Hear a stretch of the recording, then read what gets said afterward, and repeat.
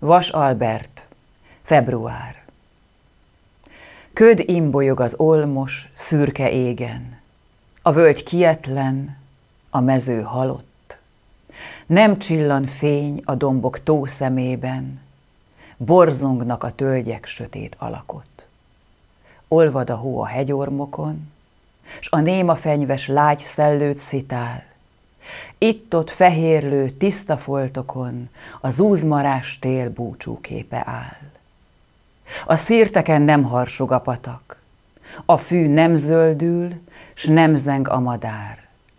Nyomasztó, szürke kötfátyol alatt a nagy természet új életre vár.